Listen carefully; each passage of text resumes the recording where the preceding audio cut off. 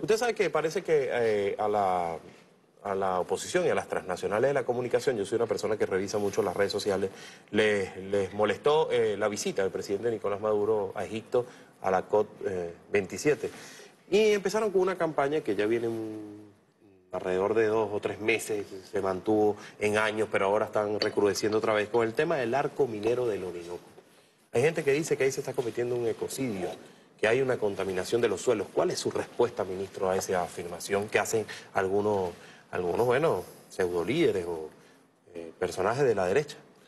Mira, yo doy la respuesta dentro de los parámetros que me corresponde, que es el parámetro ambiental. Este, esto, el arco minero del Orinoco es una política soberana del Estado venezolano de desarrollar de manera integral un área, un área del Estado venezolano que hay que aclarar que no es un área protegida. El arco minero del se encuentra ubicado entre el Parque Nacional Caura y el Parque Nacional Canaima. Es el área que circunda estos dos parques. Para aclararlo, porque me corresponde aclarar eso y siempre lo, lo hemos aclarado y lo hemos aclarado en los distintos informes que hemos enviado, sobre todo a la UNESCO, que es la, la protectora del, patrimonio mundial canaima. Nosotros como Ministerio de Ecosocialismo nos encargamos de dar los permisos consecuentes para la explotación soberana aurífera o de cualquier otro material este, metálico o no metálico que se encuentre en el sitio como ente rector, siguiendo los parámetros Ahí hay establecidos, deforestación, esta- por ejemplo. establecidos en la ley. ¿Hay deforestación? Yo no he ido, yo se lo pregunto a usted que es el ministro. Probablemente si hay una zona donde va a haber alguna explotación... Cuando usted me dice probable, puede que sí como puede que no. Porque, claro. Hay respuestas que son sencillas, sí o no. No, pero es que yo te digo probablemente porque yo tampoco conozco todas las zonas y te digo probablemente unos sitios haya, pero en otros sitios no necesariamente hay cobertura boscosa. Entonces yo no te puedo decir que, que hay deforestación o no, no hay cobertura boscosa, pero te digo el probablemente. El probablemente... Pero debería conocerlo. Ah, bueno... Porque usted es el ministro, que, es Claro, que yo le diga que yo, no, que yo soy que- el gobernador del estado de La Guaira y no conozca ¿Tú toda La conoces Guaira. todo el Guaraira, el Repano? No, no lo conozco, Es pero yo no tengo competencia. 85.000 hectáreas. Pero yo no tengo Pero es competencia tu sobre... parque, tú eres caraqueño, deberías conocerlo. Es ¿no? diferente a una, es muy diferente a una, a una jurisdicción ministerial Bueno, como la suya. pero por eso te digo, es un parque de... yo eh, soy periodista, yo le podría decir que yo conozco el BTV y el Canal 8, todas sus partes. Cada rincón. Cada Hasta la última poseta. Tal Sí, vez la mujer no la conoce. Es la única porque no puede entrar. Porque no puede Pero entrar. Usted sí debería conocerlo. Claro, pero hay zonas que son inaccesibles, como te he dicho, el parque de Tarima Tar- Tapirapecó. Hay zonas que todavía no, que no son accesibles. Hay zonas.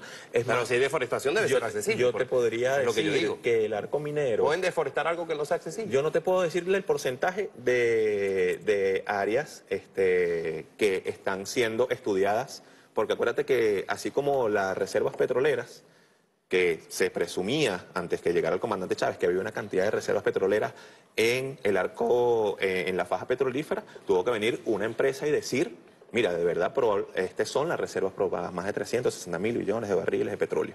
Igualmente pasa en el arco, en el arco hay una cantidad de materiales y de, de- de- de mate- de material precioso o de minerales que Que son importantísimos. que están, claro, pero se están haciendo los estudios de línea base. Y es- ahí es- está mi respuesta para ti.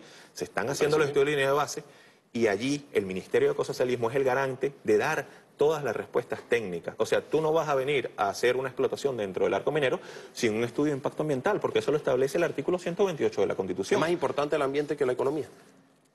Para usted.